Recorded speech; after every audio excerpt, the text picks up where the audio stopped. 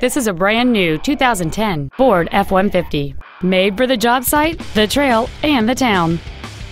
It has a 5.4-liter, eight-cylinder engine, an automatic transmission, and four-wheel drive. Its top features include cruise control, steering wheel mounted controls, a rear window defroster, a leather wrapped steering wheel, alloy wheels, fog lamps, tinted glass, a traction control system, a sliding rear window, and satellite radio.